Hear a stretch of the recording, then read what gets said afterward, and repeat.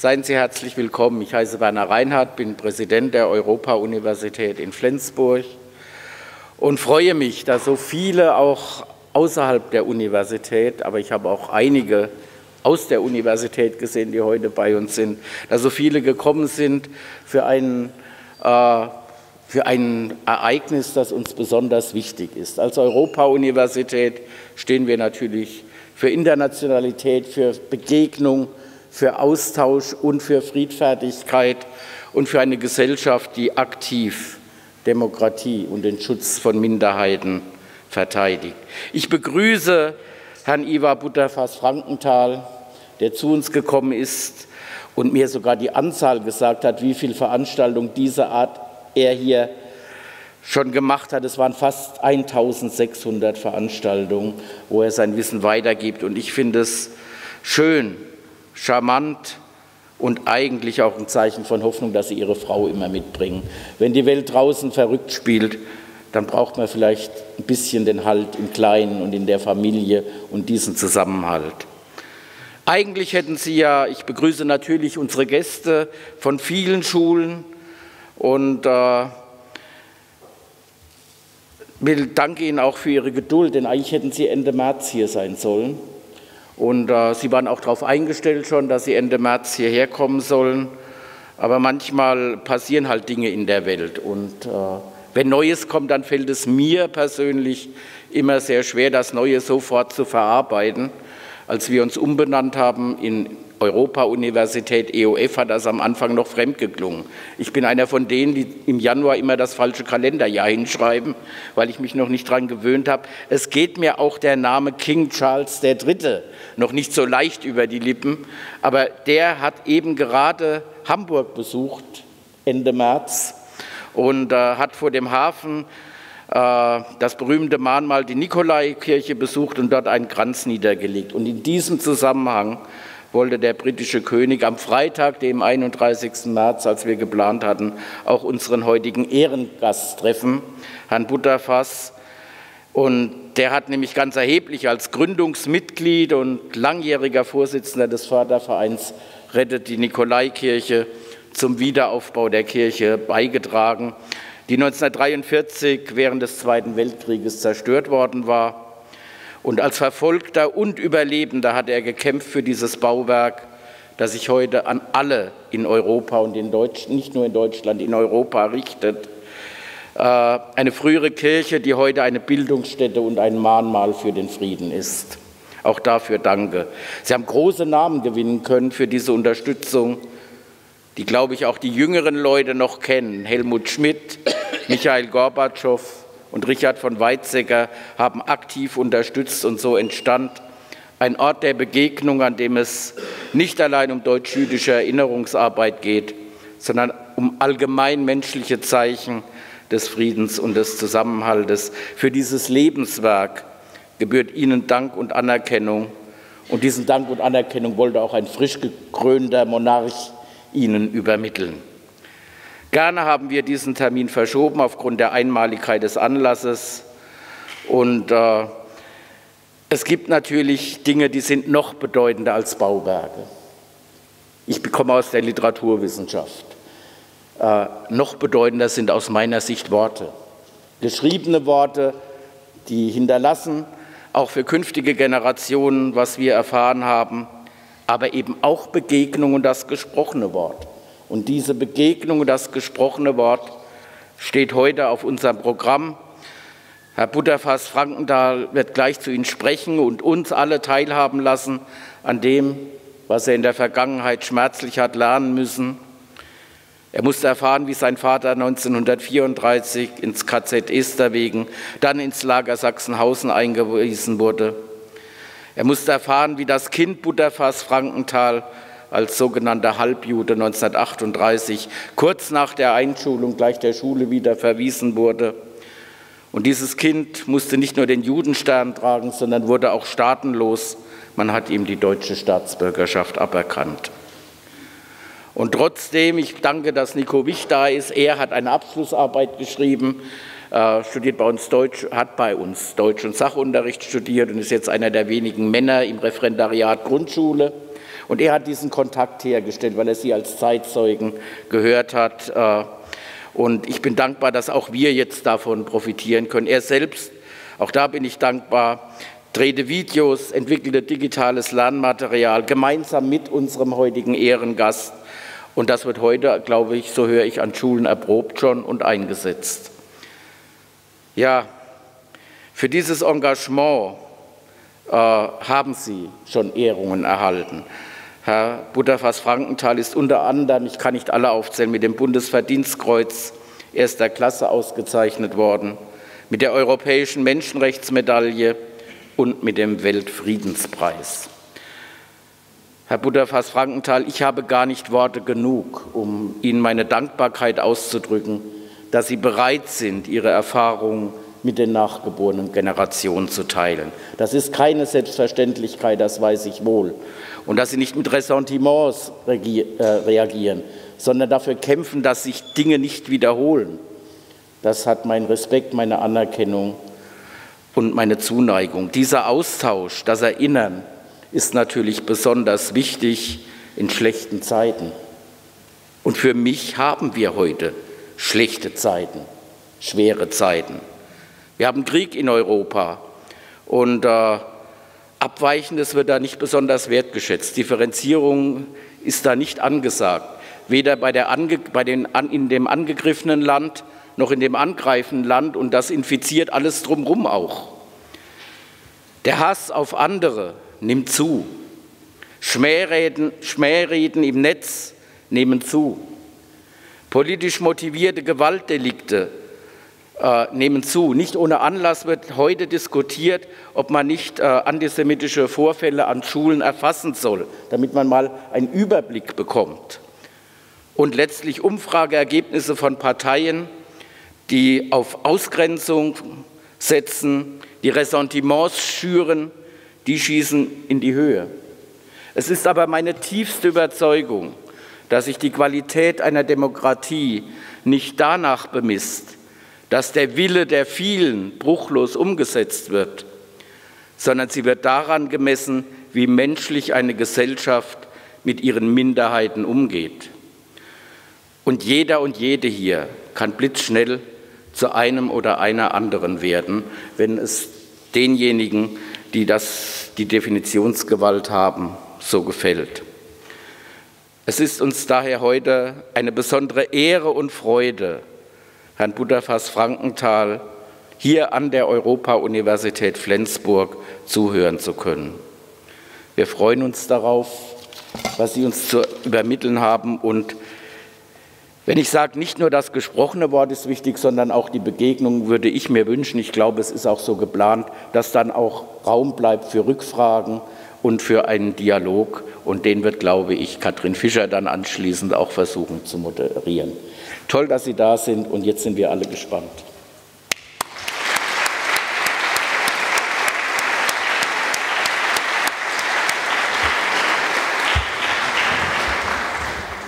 Ja, sehr geehrter Herr Präsident, Herr Reinhardt, sehr geehrter Herr Stadtpräsident, solche netten, wahnsinnig netten Worte hier in Flensburg heute Morgen zu genießen, das macht mir sehr schwer aufzuhören, das muss ich Ihnen offen gestanden sagen. Da kann man gar nicht anders. Das ist eigentlich, ich sage mal, der Treibstoff, der mich immer wieder dazu führt, Veranstaltungen durchzuführen, mit so jungen Menschen zusammenzukommen, die das ganze Leben vor sich haben.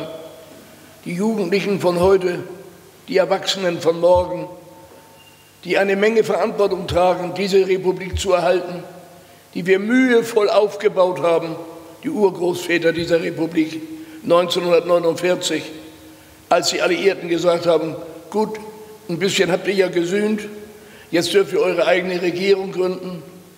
Und dann haben die Leute mit Adenauer und mit Ollenhauer und mit Kurt Schumacher, mit großen Politikern aus SPD und CDU zusammengesessen und haben einige Monate gebraucht, bis sie den Artikel 1 geformt haben. Die Würde des Menschen ist unantastbar. Und ich glaube, das ist ein sehr wichtiges Wort das wir alle in uns aufnehmen sollten.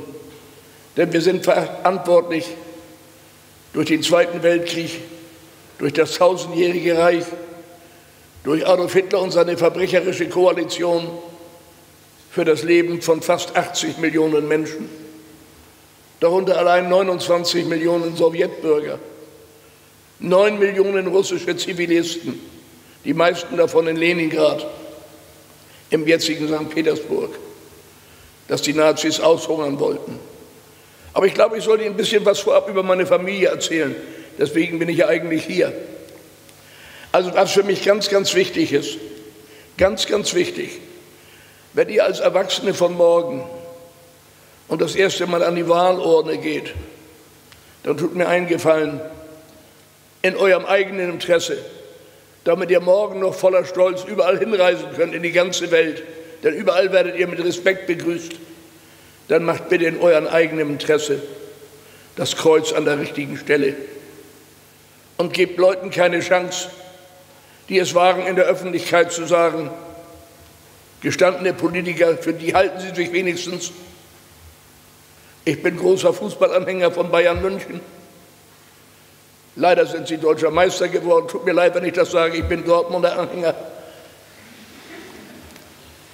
Der sagt dann öffentlich, dieser gestandene Politiker, da gibt es einen wunderbaren Verteidiger mit Namen Boateng, ist ein Schwarzer, aber seien Sie ehrlich, möchten Sie den als Nachbarn haben? Was soll man von so einem Rassisten halten? Der andere ist noch eine Nummer schwerer. Der kriegt es fertig für die sechs Millionen ermordeten, hingeschlachteten Menschen, die in den Gaskammern vom Leben zum Tode befördert wurden, in Auschwitz, Letztlandstadt, Buchenwald, überall dort, wo es Konzentrations- und auch Nebenlager gab, 40.000 Stück, gab es davon in Deutschland allein und in Europa. Dieser Mann kriegt es fertig und sagt, diese Stele da für die Erinnerung an die sechs Millionen ermordeten Juden, das ist ein Schandmal für Deutschland. Und der andere nennt den Nationalsozialismus, das Dritte Reich, einen Fliegenschiss der Geschichte. Tut mir eingefallen, macht das Kreuz an der richtigen Stelle in euren eigenen Presse, wenn euch was an dieser wunderschönen Republik liegt. Denn es ist das schönste Deutschland, was es je gegeben hat.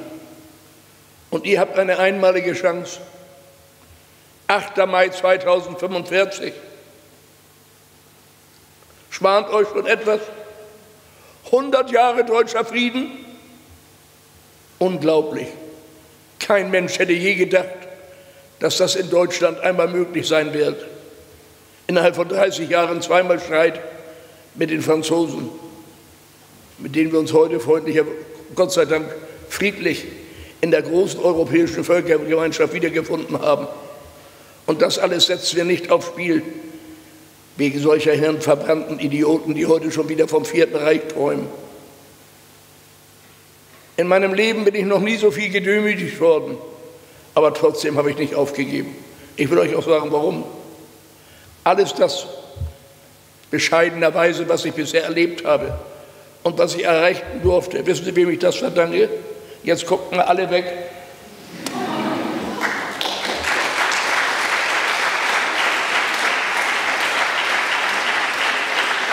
Ich glaube, in diesem Moment haben auch die mitgekommen, die traurigerweise, das macht mich immer wieder traurig, denn Deutschland hat die höchste Scheidungswelle in Europa. Jede zweite Ehe in Deutschland steht leider auf dem Prüfstand. Und ich möchte gar nicht wissen, wie viele Jungs beim Vater leben, und wie viele Mädchen heute bei der Mutter. Das macht mich traurig, denn auch wir beiden sind Scheidungskinder. Ich weiß, was das bedeutet. Was habe ich mich auf meinen Vater gefreut, als er 1945, da war ich zwölf Jahre alt, der Krieg war zu Ende, Deutschland war besiegt. Gott sei Dank, wir waren befreit worden. Wir haben nicht den Krieg verloren. Wir sind befreit worden von einem der übelsten Regime, die die Welt je gekannt hat. Mit Konsorten wie Hitler, Hess, Göring, Goebbels. Leute, die so verbohrt waren, so nationalsozialistisch angehaut. Ich muss jetzt mal einen kleinen Schwenk machen. Da komme ich einfach nicht drum rum. Es gibt ein Großunternehmen in München, gibt es heute noch, weltberühmt, weltbekannt. Das war Günter Quandt, der war verheiratet mit der Edda Quandt. Die hatten einen gemeinsamen Sohn, der hieß Harald. Sie ließ sich scheiden und heiratete die Ausgeburt des Teufels, Josef Goebbels, Reichspropagandaminister, Minister für Film und Funk. Diese Frau war so fanatisch, das war eine solche Nationalsozialistin, als die russische Soldeska die Straßenkämpfe in Berlin aufgenommen haben, verabschiedete sie sich von ihrem Idol Adolf Hitler, der den feigen Selbstmord begann. Und sie ging dann zu ihren Kindern, fünf kleine entzückende Mädchen und einen Jungen, gab ihnen eine Tasse Schokolade zu trinken, gab Schlafmittel hinein. Und als sie schliefen, diese kleinen unschuldigen Kinder, die niemandem etwas getan haben, auch die jüdischen und polnischen Kinder und russischen haben nie jemandem etwas getan, wurden ausgelöscht, fielen den sogenannten Sonderkommandos zum Opfer. Sie drückte jedem den kleinen Mädchen, stellt euch das bitte mal vor, eine Mutter, eine Cyankali-Kapsel in den Mund und drückte die Kiefern zusammen. Sie ermordete ihre fünf, nein, ihre sechs unmündigen, kleinen, unschuldigen Kinder. So verbohrt waren die Nationalsozialisten. Und wenn heute noch einige sagen, das haben wir alles nicht gewusst, dann kann ich nur sagen, das ist eine absolute deutsche Traditionslüge. Jeder hat in Deutschland gewusst, was nach 1933 was ich 1923 schon angekündigt hatte, darauf komme ich noch zu sprechen, hatte gewusst, was in Deutschland passierte.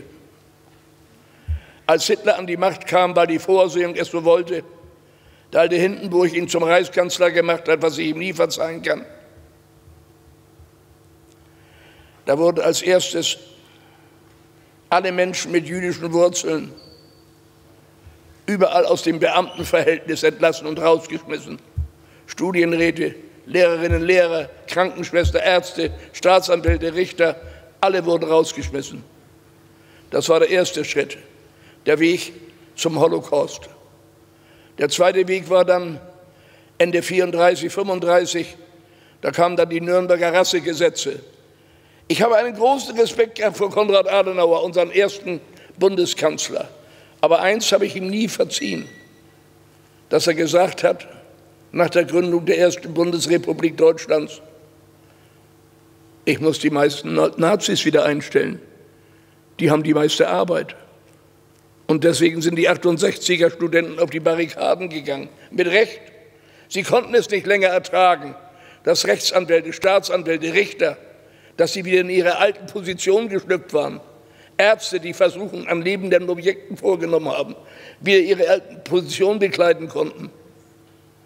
Selbst einer von unseren, die uns auf das Schlimmste gedemütigt haben, 1942, als meine Geschwister und ich die deutsche Staatsbürgerschaft verloren und einen sogenannten Fremdenpass bekamen.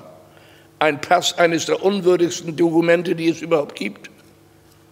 Wenn jemand straffällig geworden ist, dann bekommt er Gefängnis. Früher gab es auch bei ganz schweren Kapitalverbrechen, gab es Zuchthaus.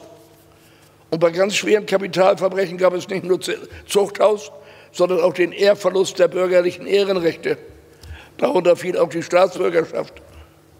Man stelle sich einmal vor und gucke sich diesen Pass genau an, was die Nazis nach 1945 noch alles fertiggebracht haben und was sich bis heute auch noch erhalten hat. Wir müssen sehr, sehr aufpassen. Jeder unserer Bundespräsidenten sagt in seinen Reden, wäre den Anfängen wir müssen aufpassen, dass sich das alles, was wir nicht wollen, wiederholt. Und auf Deutschlands Straßen ist es sehr, sehr unsicher. Hier sehen Sie auf diesem Pass den mein Verleger, der dieses Buch herausgegeben hat für meine Frau und mich, diesen Pass naturgetreu nachgedruckt hat mit seinen zwölf Seiten. Alle Vierteljahr muss ich mir bei der geheimen Staatspolizei, schon der Weg dorthin war schlimm, eine neue Gebührenmarke für ein halbes Jahr einkleben lassen. Ich hatte keinerlei Rechte, keinen sozialen Schutz. Ich bekam keine Lehrstelle früher. Wenn ich meinen Ausweis vorlegte, und das war dieses Schandmal hier, dann wurde ich schon von vornherein abgelehnt. Und hier sehen Sie auch nicht etwa das Hakenkreuz. Hier sehen Sie den Bundesadler. 20 Jahre lang hat dieser Beamte gebraucht, der uns damals die deutsche Staatsbürgerschaft und somit den Boden unter den Füßen entzog. 20 Jahre lang habe ich gebraucht, bis ich die deutsche Staatsbürgerschaft wiederbekommen habe. 1964. Bis dahin war ich ein Namenlos, ein Niemand, ein Nichts. Unsere beiden gemeinsamen Kinder sind noch als Staatenlose in diesem Land geboren. Immer wieder hat er mir bei meinem Auftauchen gesagt, Sie sind noch lange nicht dran, da sind noch so viele vor Ihnen. Ihre Akte ist nach wie vor im Umlauf, Sie müssen sich noch gedulden. 20 Jahre habe ich mich geduldet. Erst ab dann wurde ich ein Mensch. Und als ich wieder im Besitz vernünftiger Papiere war, habe ich dann auch mein Leben in eine andere Richtung gebracht. Bis dahin war ich fast nicht ansprechbar. Das alles verdanke ich vor allen Dingen meiner unglaublich starken Frau. Viele Männer sollen endlich mal begreifen, was wären wir ohne unsere Frauen. Die Frauen spielen eine übergroße dreidimensionale Rolle in unserem Leben. Da sitzt vielleicht die neue Bundeskanzlerin. Wo ist das Problem? Sie kann nicht so charmant lächeln wie Frau Merkel, ist vielleicht sicherlich auch so tüchtig, wie sie war. Ja, und da sitzt vielleicht unser neuer Bundespräsident. Alles steht euch doch offen. Die ganze Zukunft liegt wie auf einem goldenen Tablett vor euch. Ihr braucht nur zugreifen und aufpassen, dass sich nie wieder braune Elemente erheben. Schrecklich ist es, was sich in Hanau abgespielt hat. Neun Menschen wurden erschossen. Schrecklich ist er, dass einer der beliebtesten Politiker, die wir in Deutschland hatten, in seinem eigenen Hause, auf seiner Terrasse, durch Kopfschuss hingerichtet wurde, der nie einem Menschen etwas getan hatte, der nur Gutes getan hat, Walter Lübcke. Wie schrecklich, dass ein irregeleiter, verrückter Neonazi sein Auto an den Straßenrand parkt, geht zu seinem Kofferraum, holt eine Kalaschnikow raus, geht mit der Kalaschnikow auf die Synagoge in Halle zu, feuert das ganze Magazin auf das Schloss leer, die Tür geht nicht auf, wutentbrannt wendet er sich von der Synagoge ab und erschießt erstmal drei Patienten, Patienten, Passanten auf der Straße. Ein unglaublicher Akt. Das alles wollen wir nicht mehr. Wir wollen auch keinen weiteren nationalsozialistischen Untergrund, NSU, der zehn Jahre durch Deutschlands Straßen und Städte fegt und wahllos Menschen erschießt und hinrichtet. Das alles soll der Geschichte angehören. Nie wieder wollen wir, dass sich solche Regierungen über uns entscheiden, wie die Zukunft aussieht. Ja, ich wurde am 16. Januar 1933 geboren in Hamburg. Ich bin ehrlich, jetzt kommt so ein bisschen Lokalkolorit. Aus einem Hamburger kann nie was anderes werden als ein Hamburger, obwohl Flensburg schön ist. Gibt es gar nichts. Aber ich bin nun eben ein Hamburger und das ist so. Ja, außer mir gab es noch weitere sieben weitere Geschwister. Wir waren vier Jungs und vier Mädchen. Naja, ich wurde von den ersten Jahren, kriegte ich nichts mit von 1933. Da hatte ich ja erst das elektrische Licht dieser Welt erkannt. Das ging erst einige Jahre später los. Mein Vater war der jüdische Teil in der Familie. Er stammte aus Dresden. Wir hatten sehr, sehr, sehr vermögende Großeltern väterlicherseits. Sie besaßen die europaweit bekannte Zigarettenfabrik und Zigarrenfabrik Kyriazzi. Und meine Mutter war der sogenannte der Arithmetik der Nazis arische Teil. Sie stammte aus einem ganz, ganz, ganz treuen und sehr konservativen Beamtenhaushalt. Mein Großvater mütterlicherseits war Mitglied der Hamburger Handelskammer. Beide Eltern waren eigentlich gegen diese Heirat. Aber davon ließen sich die beiden einfach nicht abbringen. Beide hatten nämlich ein gemeinsames großes Hobby. Steht auch in einer meiner Biografien, glaube ich. Sie konnten wahnsinnig, unglaublich Stepptanzen.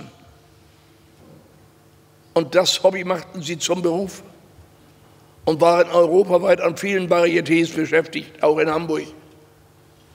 Naja, und nacheinander kamen wir alle auf die Welt. Ich war der Letzte. Meine älteste Schwester war Ursel. Das ist mein Neffe. Der wurde bei einer friedlichen Demonstration im vergangenen Jahr ist durch die ganze deutsche Presse gegangen, bei einer friedlichen Mahnwache für Israel am Hamburger Hauptbahnhof zusammengetreten worden von einem Neonazi. Dabei zerbrach seine Brille. Auf dem linken Auge wurde er sofort blind. Das rechte wurde schon zweimal operiert, wird er wahrscheinlich auch verlieren. Während der Prozess in Hamburg gegen diesen wütenden Nazi lief, hat er zur gleichen Zeit in Berlin ein Mädchen vergewaltigt. Es gibt jetzt einen zweiten Prozess. Im ersten Prozess, ich kann damit eigentlich nicht so ganz was anfangen, hat er sechs Monate auf Vorbewährung bekommen. Es tut mir schrecklich leid, mit Vorbewährung kann ich im Moment gar nicht so furchtbar viel anfangen. Ist das nun eine Bewährung oder ist es ein Kuraufenthalt? Ich weiß es nicht. Ich habe keine Ahnung. Ich kriege das nicht so ganz auf die Bretter. Ich bin der Meinung, wer ein so schlimmes Kapitalverbrechen begeht, der kann nicht sechs Monate auf Bewährung bekommen oder auf Vorbewährung, sondern der muss hart bestraft werden. Der muss für eine lange Zeit aus der Gesellschaft entfernt werden. Der hat noch viel zu lernen. Man kann Menschen nicht solche Gebrechen beibringen. Meine Schwester Ursel war die älteste und sie ging gleich zu unseren Großeltern mütterlicherseits und da verblieb sie. Dann kam mein Bruder Kurt, das war der zweitälteste. Der hatte schon Abitur gemacht und das kam mir später, als ich von der Schule flog, sehr zugute. Denn im Untergrund und auf der Flucht hat er mich bei jeder Gelegenheit beim Kragen gepackt und hat mich unterrichtet. Das war mir manches Mal ganz schön zu viel, aber ich habe durchgehalten, wie Sie sehen. Es ist ein bisschen was aus mir geworden. Naja, und dann mein Bruder Kurt hat auch die Vaterrolle übernommen. Denn mein Vater war einer der Ersten, der gleich verhaftet wurde, weil er auch noch das verkehrte Parteibuch in der Tasche hatte. Er war nämlich Kommunist und Jude, das reichte. Und er kam nach Esterwegen in ein Lager, das vorbereitet wurde für die ganzen polnischen Gefangenen. Denn Hitler hatte vor, Krieg zu machen. Und das erste erklärte Ziel war Polen. Und damit machte er auch den Anfang am 1. September 1939. Naja, als zweites, als drittes kam dann meine Schwester Alice. Meine Schwester Alice ist auch die einzige, die den Wunsch hatte, nicht im Lande der Täter und Mörder zu bleiben. Sie wollte unbedingt Deutschland verlassen. Und deshalb ging sie zur ORT, Organisation für jüdische Auswanderer, und musste dort irgendeinen, in irgendeinem Beruf einen Schnellkurs machen von drei Monaten. Und da entschied sie sich für den Schnellkurs Schneider. Was sie nicht wusste, aber ihr Schicksal wurde, es gab meinen zukünftigen Schwager, der mit meiner Schwester Alice verheiratet war später. Der war als Kind der Einzige, den seine Eltern auf einem letzten Kindertransport in Sicherheit brachten, und zwar nach England.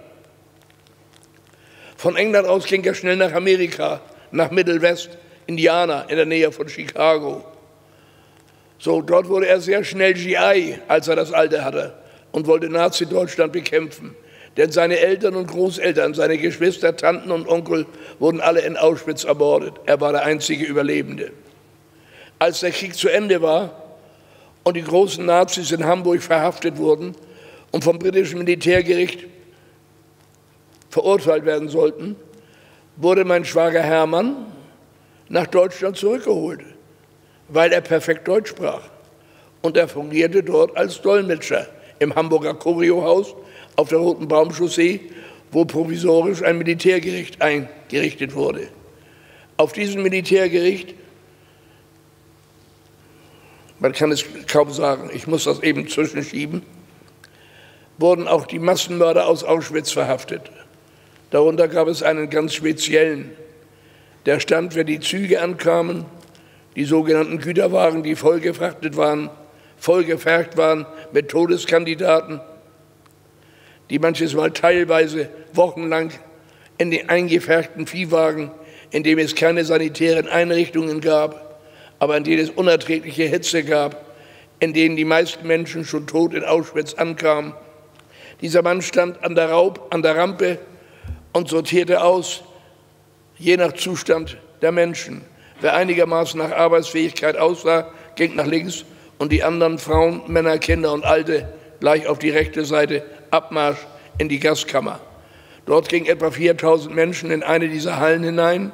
Die wurde dann verschlossen und von oben gab es dann das sogenannte Zyklon B hinein. Innerhalb von 20 Minuten waren die Menschen tot. Entscheidend war dann, dass die Sonderkommandos, die gegründet wurden aus KZ-Häftlingen, die mussten die Halle leer machen und räumen. Bevor sie die Leichen dann aber in die Krematorien schoben, Tag und Nacht rauchten die Schornsteine, mussten sie vorerst den Häftlingen, die welche hatten, die Goldzähne herausbrechen. Die Goldzähne wurden eingeschmolzen, wanderten über die Dresdner Bank, über die Schweiz in die Türkei als Devisen. Man muss sich einmal vorstellen, was für Torturen da waren. Da gab es zum Beispiel ein Mädchenorchester. Ein Mädchen, das überlebt hat aus Auschwitz, gehörte zu unseren besten Freundinnen. Das war die Häftlingsnummer, ich weiß es nicht mehr ganz genau. Mit Namen durfte sich ja sowieso keiner ansprechen lassen, sondern er hatte ja nur eine Nummer auf dem Arm tätowiert. Das war Esther Bejaramo, eine Frau, die im Mädchenorchester die Todeskandidaten begrüßte, wenn sie ankamen und halbtot aus den Viehwagen fielen. Es gab einen Arzt an der Rampe, der war weltbekannt. Das war Josef Mengele. Der machte Versuche an lebenden Menschen, meistens mit Zwillingen. Die wollte er erforschen, die Gene. 14 von diesen Mädchen wurden auf den Transport nach Hamburg gebracht, ins Konzentrationslager Neuengamme, weil am 27. April 1945 Auschwitz befreit wurde und diese Kinder auf keinen Fall den Russen in die Finger fallen sollten. Sie kamen nach Neuengamme und von dort aus wurden sie verlegt, weil auch Neuengamme jetzt geräumt wurde. Und es kamen über 20.000 Häftlinge aus Neuengamme auf den sogenannten Todesmarsch, wo viele verstarben, erschossen wurden, erschlagen wurden, egal wie, je nachdem, wozu die SS Lust hatte. Und diese Mädchen kamen in eine Schule und die nannte sich die Schule am Bullenhuser Damm. Diese Schule ist heute keine Schule mehr. Sie ist ein Mahnmal. Sie nennt sich der Rosengarten. Diese 14 Jungen und Mädchen aus acht Nationen, die wogen teilweise bis zu 20 Kilo, die waren federleicht. Und der SS-Obergruppenführer Speck sagte während des Prozesses den englischen Richtern, die waren so leicht, wie wir die aus den Strohsäcken geholt haben, haben wir sie auf dem Flur an den Haken gehängt, wie Bilder. Man stelle sich das vor, 14 unschuldige Kinder auf diese Art und Weise vom Leben zum Tode befördert. Der Speck wurde auch zum Tode verurteilt, wie viele andere auch. Aber viele sind natürlich, wie Sie alle wissen, was sehr traurig ist, aber es ist nicht mehr zu ändern. Viele sind natürlich davongekommen und sind in ihre alten Berufe hineingeschlüpft. Einer der schlimmsten, für mich einer der schlimmsten, war der Privatsekretär von Konrad Adenauer. Das war Hans Klopke, denn er war verantwortlich, ich weiß nicht, ob Sie, meine Herren, von dem Namen schon mal gehört haben, Hans Klopke. Er war der Mann, der die Nürnberger Rassegesetze kommentiert hat. Er war mir hauptverantwortlich. Hans Klopke war einer der größten Schweinehunde in Gemeinschaft mit, mit Reinhard Heydrich, der seinerzeit die Wannsee-Konferenz geleitet, hat, geleitet hatte und beschlossen hatte, durch Sonderkommandos endlich Schluss zu machen mit Massenerschießungen ich denke daran, dass zum Beispiel Massenerschießungen vorgenommen wurden in Baba Yar in der Ukraine. Da wurden innerhalb von drei Tagen, innerhalb von drei Tagen 32.000 Männer und Frauen in den Massengräbern verscharrt, erschossen, ermordet. Darunter hat Hamburg eine traurige Rolle gespielt. Es gab in Hamburg zwei Polizeibataillone. Jetzt komme ich auf ein Kapitel, da muss ich Ihnen ehrlich sagen, da fröstelt es mich nach wie vor. Zwei Hamburger Polizeibataillone haben sich für Sonderurlaub, für Zigaretten und für Alkohol bereit erklärt, an den Massenerschießungen in der Ukraine teilzunehmen. Bitte, meine lieben Hörerinnen und Hörer, die hier sitzen, passen Sie genau auf, was ich Ihnen jetzt erzähle. Was ich Ihnen jetzt erzähle, kann ich haargenau belegen. Jeder von Ihnen hat auch schon davon gehört und weiß es. Wir hatten zu dieser Zeit unter Adolf Hitler die schlimmste Polizei, die die Welt je gesehen hat. Die fing schon mit einer Sondereinheit an. Wer diese Polizeibeamten zu Gesicht bekam, der hätte sich gewünscht, schon tot zu sein. Denn diesen Folterknechten, die kannten jede Methode, Menschen aber regelrecht so zu quälen, dass sie sich gewünscht hätten, sofort tot zu sein. Das war die geheime Staatspolizei, bekannt unter Gestapo. Meistens die Bekleidung, Lieblingsbekleidung, Ledermäntel. Und hinter dem Ledermantel, hinter dem Revers hatten sie ihre Erkennungsmarke, die Mitgliedschaft der Gestapo. Dann gab es die SD, den Sicherheitsdienst. Das waren die sogenannten Sonderkommandos. Immer überall da, wo Adolf Hitler sein Werk vollendet hatte mit seinen Blitzkriegen, da tauchten dann die Sonderkommandos auf vom Sicherheitsdienst und von der SS. Und sie säuberten dann die ganzen Gegenden von Kommunisten, von intelligenten Menschen, vor allen Dingen von Juden.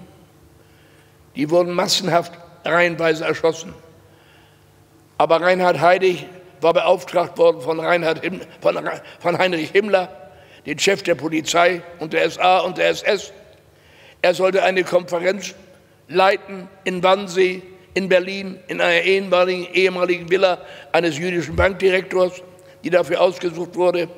Und es waren von Wirtschaft, aus der Politik, von den einzelnen verantwortlichen Behördenträgern wie Polizei und SS und SA waren die wichtigsten Chargen angetreten. Und sie berieten, wie schaffen wir die Endlösung der Judenfragen. Einen wichtigen Mann haben wir schon an der Seite. Das ist Adolf Eichmann, der Spediteur des Todes, den die Mossad, der jüdische Geheimdienst, ja noch in Argentinien hoppnehmen konnte, entführen konnte. Und er wurde dann in Israel, in Jerusalem vor Gericht gestellt. Adolf Eichmann hat in seinen Schlussworten gesagt, ich schäme mich vor meinem Führer, dass ich versagt habe. Ich habe nur sechs, ein, sechs Millionen Juden ermorden können und zwölf Millionen hatten wir vor. Ich war ein Versager. Und dann wurde er hingerichtet. Die Polen hätten sich gewünscht, wenn man ihn ausgeliefert hätte. Aber das wollten die Israelis auf keinen Fall. Das wollten sie selber beenden, dieses Kapitel. Lassen Sie mich weitermachen in der Aufzählung meiner Geschwister. Das möchten Sie doch gerne wissen. Dann kam mein Bruder Rolf. Rolf war der Organisator in der Familie. Wir waren eingezogen in ein sogenanntes baufälliges Judenhaus, zuerst bis 1942. Da mussten wir verschwinden, weil wir auf der Deputationsliste standen. Unser Vater war inzwischen von Esterwegen verlegt worden ins Stammlager Sachsenhausen bei Berlin. Keine Nachricht, gar nichts. Mein Bruder Rolf nahm mich immer mit zum Organisieren, und zwar ab 1943. Wir waren vorher von 42 bis 43 unterwegs auf der Flucht nach Polen. Können Sie alles nachlesen. Dort landeten wir auf einem Gutshof. Zu Fuß sind wir nach Polen gegangen. Meine Mutter mit acht Kindern, vier links und vier rechts. So war ich vor ihnen sitze, davon ist kein Wort erfunden. Unsere Mutter war ein Gigant. Was diese Frau geleistet hat, ist überhaupt nicht in Worte zu fassen. Deswegen komme ich nochmal darauf zurück. Man darf unsere Frauen, die muss man einfach auf Händen tragen. Ich halte jede Frau für ein Geschöpf des Himmels. Ich kann vielleicht schwärmen, ganz besonders, weil ich seit 75 Jahren verheiratet bin. Das ist ja schon eine Ecke. Und wenn der liebe Gott mir noch eine Chance lässt, die AfD weiter zu ärgern, dann kann ich noch in zwei Jahren mit meiner Frau die Diamantenhochzeit feiern. Vielleicht schaffe ich das noch. Jetzt muss ich erst mal 40. Jetzt muss ich erst mal 40 Veranstaltungen hinter mich bringen. Wenn ich hier heute wegfahre, dann bin ich in Husum, dann bin ich in Heide, dann bin ich in Marburg, dann bin ich in Gießen, dann bin ich in Halle, dann bin ich in Kassel, dann bin ich in Hannover, dann bin ich in Braunschweig. Lassen Sie mich aufhören zu zählen. Ich will nicht wissen, was vor mir liegt. Ich baue eine Veranstaltung nach der anderen ab. Wenn ich Sie genug gelangweilt habe, müssen Sie nur Bescheid sagen. Ja, mit meinem Bruder Rolf bin ich dann nachts losgegangen, 43. Hamburg war ein einziger Trümmerhaufen. Darauf komme ich gleich noch zu sprechen, indem ich Ihnen dieses Kreuz zeige. Eins trage ich mit meiner Frau immer um den Hals. Es ist das Nagelkreuz von Coventry. Adolf Hitler wollte alles Coventrieren, denn auf Coventry gingen die ersten Wunderwaffen nieder, die V1 und die V2, die in Peenemünde und Swinemünde gebaut wurden. Und da war es nach dem sogenannten Mittelbau Dora. Und da war einer der wichtigsten Männer von Adolf Hitler. Und das war Obergruppenführer General Hans Kammler. Hans Kammler war für alle sogenannten Wunderwaffen im Dritten Reich zuständig. Und als Werner von Braun mit seiner Truppe der Raketenforscher gefangen genommen wurde von den Amerikanern, die Amerikaner haben Gas gegeben, die wollten Werner von Braun unbedingt lebend gefangen nehmen, haben sie ihn vor die Wahl gestellt. So wie du jetzt hier stehst im Mantel und mit deinem Verband umarm, kommst du in die nächste Maschine nach Amerika. Du musst unser Raketensystem machen. Denn die Deutschen waren 20 Jahre weiter als die Amerikaner. Und wenn der Krieg noch sechs Wochen gedauert hätte oder acht Wochen gedauert hätte, hätte Hans Kammler es geschafft und die Atombombe wäre in Deutschland zustande gekommen. Gar nicht auszumalen, was Hitler damit gemacht hätte. Ich mag gar nicht daran denken, was wäre, wenn Hitler den Krieg gewonnen hätte. Überlegen Sie mal, 8,5 Millionen Zwangsarbeiter haben wir zwangsrekrutiert aus überall her, aus, aus Frankreich, aus Italien, aus Jugoslawien, aus Dänemark, aus überall her haben wir die Zwangsarbeiter geholt, die nach einem Motto in Deutschland arbeiten mussten, Vernichtung durch Arbeit. Warum brauchten wir denn so viele Zwangsarbeiter? Aus einem ganz einfachen Grund. Unsere Männer waren doch alle die Deutschen in Uniform. Entweder waren sie im D-Day in der Normandie, wo die Amerikaner gelandet waren, oder Sie waren in Russland. Wie viele sind in Stalingrad geblieben? Der General, mir fällt der Name im Moment nicht ein, hatte ja damals kapituliert und wurde dann von Adolf Hitler zum Tode verurteilt, das natürlich nicht vollstreckt werden konnte, weil er in russische Gefangenschaft ging. Er ging dann damals in die DDR. Ich komme im Moment nicht auf den Namen, wie der General hieß. Wissen Sie es? General Paulus, jawohl, das gibt absolut eine Eins. Gerechtfertigt, auf jeden Fall. Danke, Herr Präsident. Ja, es gibt schon manches Mal in dem Alter, fast 91, gibt schon mal so einen kleinen Ausraster, das müsst ihr denn entschuldigen. So, mit meinem Bruder Rolf bin ich dann losgestiegert und wir sind in die zertrümmerten Häuser hineingeklettert, in die Kellerräume. Und dort haben wir dann alles herausgesucht, was wir in unserem Untergrund, denn wir hatten in einem zerstörten Haus den Keller so ein bisschen wohnlich gemacht, was man wohnlich nennen kann, und haben dort überlebt. Und dann haben wir organisiert, was wir fanden in den ehemaligen zerbombten Nazi-Villen. Da gab es Textilien, die da rumlagen, manches Mal Konserven und alles Mögliche haben wir organisiert. Wir mussten ja über, irgendwie überleben. Dann kam mein Bruder Ronald der hat es am glücklichsten geschafft. Mein Bruder Ronald hat sich gleich am 10., man muss sich das vorstellen, am 10. Mai, Hamburg hatte am 3. kapituliert, fünf Tage vor Großdeutschland. Das hat der Dönitz hier aus Glücksburg gemacht. Der hat ja für Hitler, der ja nicht mehr konnte, kapituliert. Die Urkunde hat ja Keitel, Generaloberst Keitel unterschrieben, die Kapitulationsurkunde. Naja, und mein Bruder Ronald ist dann sofort zum Hotel Atlantik gegangen. Die Briten haben sofort das Rathaus besetzt, haben Karl Kaufmann gefangen genommen, verhaftet und interniert und all die anderen Nazi-Größen. Und dann haben sie die großen Hotels besetzt. Kann ich verstehen. Das Hotel für Jahreszeiten, heute das Hotel Nummer vier in der Welt in Hamburg an der Außenalster und das Hotel Atlantik auf der anderen Seite der Außenalster. Und da hat er sich dann beworben und die haben ihn glatt weggenommen als Koch. Naja, und als Kochlehrling hat er dann ausgelernt und ging dann später zur See. Dann kam meine Schwester Felicitas, die war anderthalb Jahre älter als ich. Ja, und dann kam ich, 1933. 1923 hätte man den ganzen Spuk ein Ende machen können, wenn die Polizei bloß richtig getroffen hätte.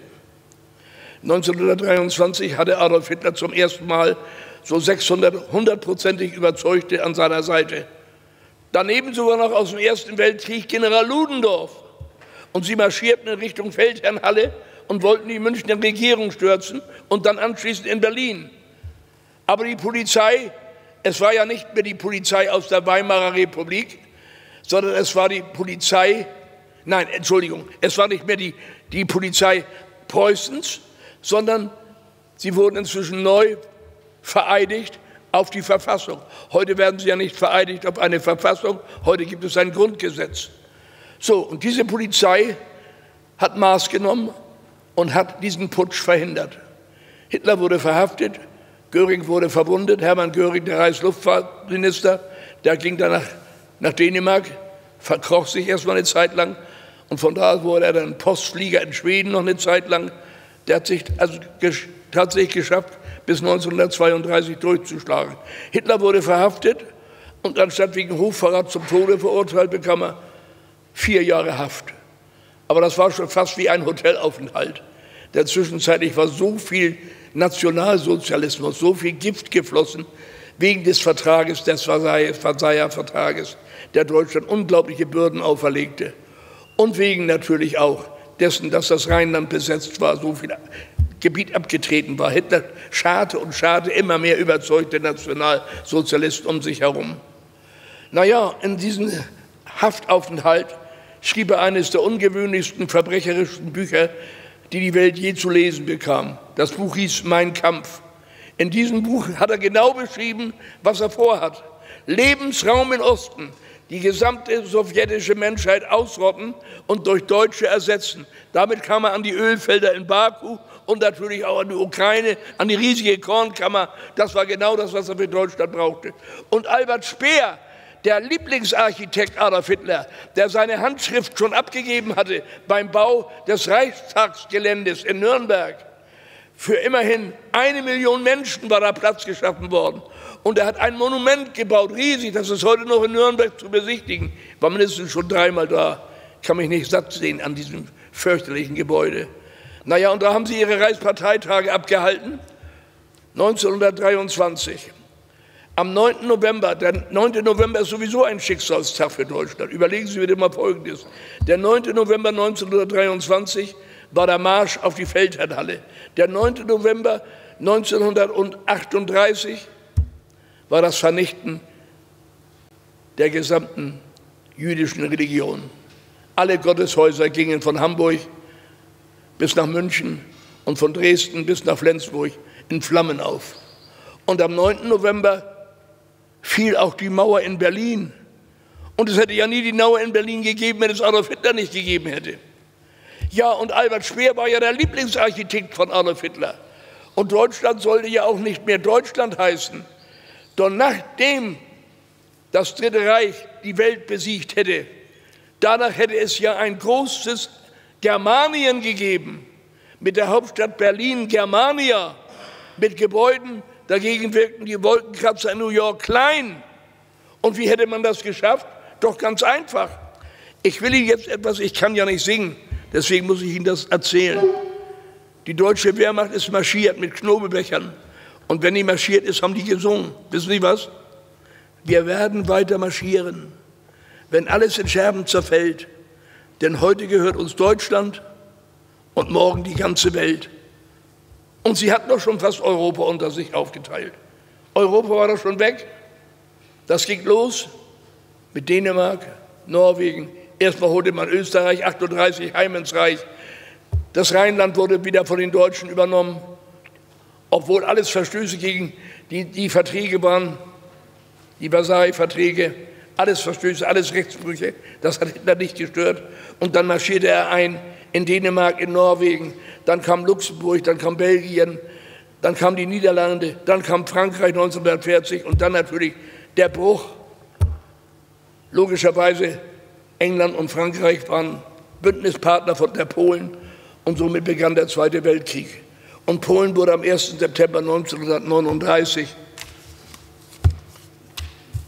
wurde Polen überfallen. Und jetzt muss ich Ihnen mal erzählen, wie kriminell die deutsche Polizei war. Dieses Buch ist herausgegeben worden von Forschern aus der Polizeiakademie in Nienburg an der Weser. Jedes Wort hier ist wahr. Dieser Mann, um den es hier geht, heißt Walter Zerpins. Walter Zerpins war Polizeipräsident und Walter Zerpins war auch der Mann, der mitverantwortlich war für den Ausbruch des Zweiten Weltkrieges. Denn Walter Zerpins war auch der Chef der Gestapo in Hannover. Und er wurde von Adolf Hitler bestellt, Hitler brauchte nämlich am 27. August noch einen Vorwand, um in Polen einzumarschieren am 1. September. Und das lief wie folgt ab. Zehn SS-Soldaten, organisiert von Walter Zerpins und von der Gestapo, zogen sich polnische Uniformen an und besetzten den Reichssender Gleiwitz, einen deutschen Sender im polnischen Korridor, und erschossen alle deutschen Angestellten dieses Reichssenders. Damit hatte Hitler den Vorwand, Polen zu überfallen. Ab jetzt wird Kugel mit Kugel vergolten. Das war sein Credo. Was dann mit Polen passierte, möchte ich Ihnen weiter ersparen. Die Polen haben am meisten unter den Deutschen gelitten. Dieser Walter Zerpins war auch gleichzeitig der Leiter von Litzmannstadt. Und da gab es einen Ministerpräsidenten nach dem Kriege in Niedersachsen, der hieß Hinrich Kopf. Vielleicht erinnert sich jemand von Ihnen daran. Hinrich Kopf war der Leiter des Büro Ost und hatte alles jüdische Vermögen zu requirieren. Und das wusste Walter Zerpins. Und Walter Zerpins wurde abgelehnt für den Polizeidienst. Wissen Sie, was er gemacht hat? Von Obersch Oberscharführer Best, das war die rechte Hand von Reinhard Heydrich, bekam er eine eidesstattliche Versicherung, die hundertprozentig aussagte, dass er mit dem Nationalsozialismus nichts zu tun hatte. Und dann hat er Hein Hinrich Kopf erpresst und hat ihm gesagt, pass auf, ich brauchte nicht viel sorgen. Ziehe ich nicht alte Stellungen zurück, wirst du deine verlieren. So hat er den Ministerpräsidenten von Niedersachsen erpresst und wurde in den Polizeidienst übernommen.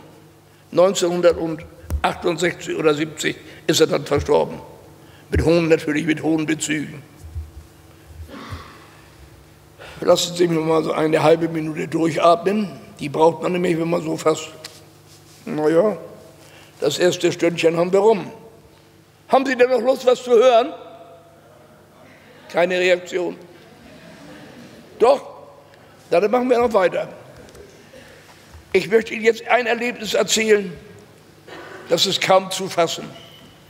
Meine Mutter hatte die Idee, mich einzuschulen. Ich war sechs Jahre alt. So groß war ich, ich reichte hier bis an die Tischkante. Das war meine alte Schule. Die ist im Jahre 2011 100 Jahre alt geworden. Und der Lehrer, der hier auf der Vorderseite steht, der hat sich ein Herz gefasst und hat mich angerufen, denn er wurde von der Schulleitung beauftragt, eine Chronik über die Schule zu schreiben und natürlich auch wahrheitsgemäß über Juden an der Schule. Und da lese ich Ihnen jetzt etwas vor. Wer möchte, kann sich das Buch gerne ausleiten damit Sie nicht suchen brauchen. Es geht von 119 bis Seite 129. Judenverfolgung auch an unserer Schule. Über jüdische Lehrer an unserer Schule lassen sich keine und über jüdische Schüler wenige Aussagen machen, da hierüber keine Schulakten aus der Zeit von vor 49 mehr vorhanden sind. Anhand zweier Zeitzeugen die 1934 die erste Klasse von Fräulein Busch besuchten, lässt sich die Judenverfolgung an unserer Schule belegen. Aus dieser Klasse verschwanden zwei Jungen. Ein Junge aus dem, aus dem Schabaruschweg und ein zweiter Junge mit dem Nachnamen Budafas. Er war ein Halbjude. Seine Brüder und Schwestern haben damals ebenfalls unsere Schule besucht. Einer von ihnen dürfte der populärste ehemalige geworden sein, der unsere Schule besucht hat. Iva Butterfass, siehe sowieso, sowieso, sowieso, noch, noch ein paar Seiten mehr. Eines Tages, dazu muss ich Ihnen was erklären, auf dem Schulhof, das war ein Ritual, trafen morgens um 8 Uhr alle Schüler an. 700 waren wir in der Schule nach Größe natürlich. Rechts standen die Mädchen, das waren die sogenannten BDM-Mädchen. Die hatten eine weiße Bluse, einen schwarzen Schlips mit einem braunen Lederknoten und einen schwarzen Faltenrock und Kniestrümpfe dazu in braun. Das waren die bunt deutscher Mädchen. Und auf der anderen Seite standen die Hitlerjungen. Hitlerjungen, die hatten dann eine schwarze Hose, ein braunes Hemd, auch einen Lederknoten mit einem schwarzen Schlips drum. Und dann wurde die, Horst, dann wurde die Fahne hochgezogen, die Hakenkreuzflagge, und dann wurde erstmal das Horst Wessel-Lied gesungen. Die Fahne hoch, die Reihen dicht geschlossen. Und als das Lied verklungen war, da war mein Schulleiter dran.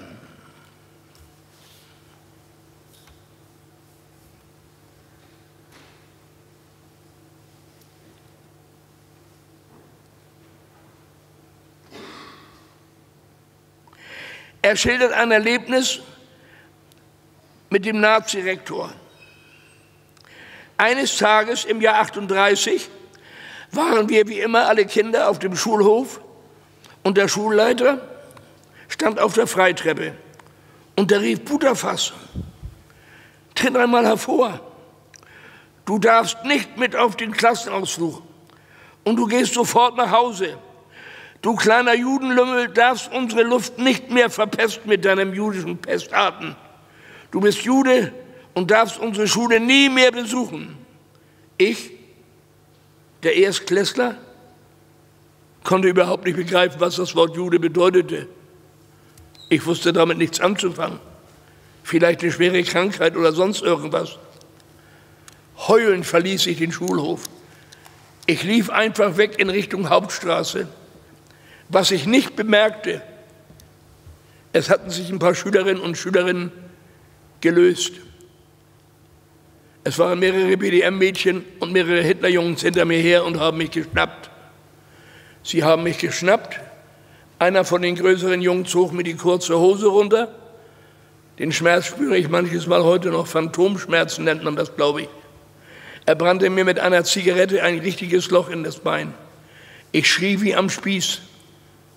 Was ich nicht bemerkte, die Mädchen hatten inzwischen eine Roste entfernt von einer Kasematte, wo man sich die Füße dran abschreibt, damit der Dreck unten reinfällt. Und die Kasematte füllten sie auf mit Papier. Und dann legten sie die Roste wieder drauf und schrien, jetzt werden wir die Juden so bei lebendigem Leibe rösten.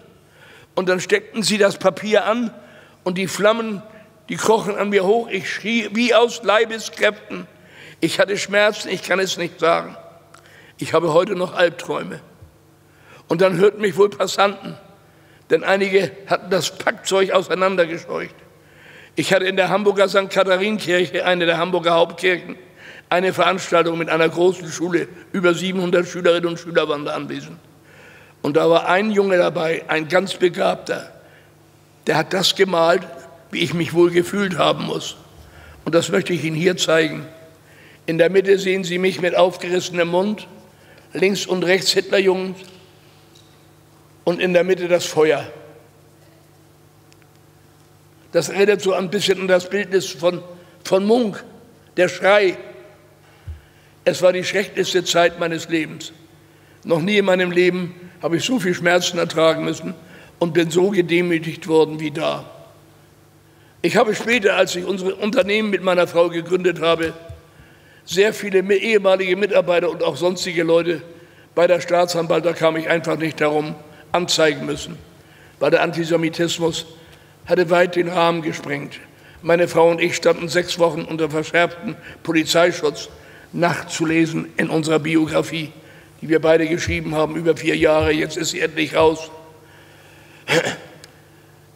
Und ich musste unsere Firma aufgeben. Ich konnte 1987 nicht weitermachen. Es ging einfach nicht mehr. Ich musste mir Luft machen. Das war auch noch ein Überbleibsel aus der Zeit.